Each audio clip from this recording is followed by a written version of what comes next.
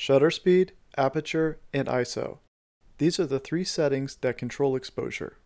A longer shutter speed makes our image brighter, while a faster shutter speed makes our image darker. Shrinking the size of the aperture blocks light, while opening up the aperture lets more light in. Turning up the ISO amplifies the light coming into the sensor.